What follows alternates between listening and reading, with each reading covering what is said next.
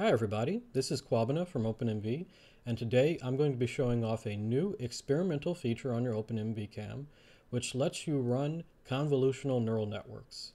Uh, pretty much, as a little bit of background, ARM released about a month ago the, their new uh, DSP library uh, for Cortex microcontrollers, which allows you to run uh, convolutional neural networks on them.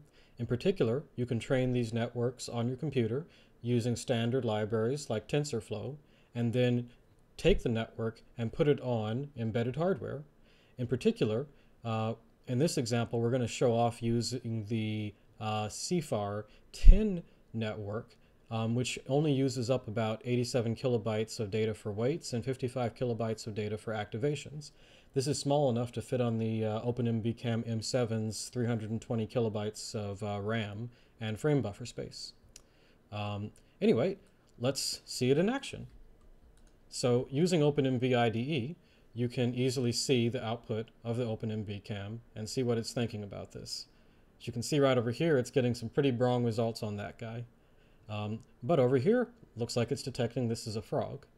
Um, so this is just a uh, standard, uh, very small neural network. It's not um, particularly robust and we're just going to be showing it random images without really trying to crop them at all or anything like that.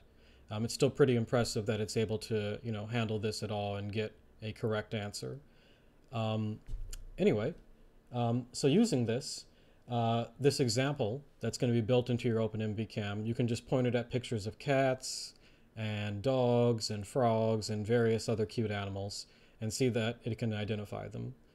Um, this demo is able to run at about uh, 4 FPS on the OpenMV right now.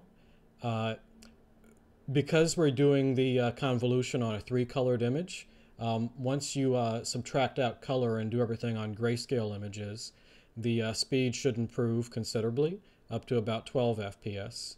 And then um, beyond that, when uh, we come out of our next generation Open Cam based on the uh, STM32H7, you should see another 2 to 3x performance increase. So we hope to hit that by the end of the year for uh, neural network performance.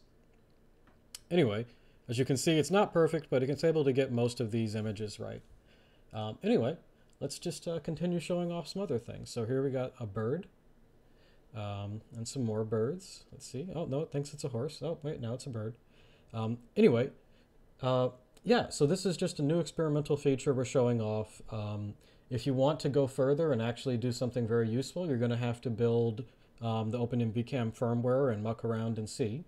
Uh, in the future, though, we plan to build out a framework that'll, that will allow you to uh, export models from your computer and run them on the OpenMVCam.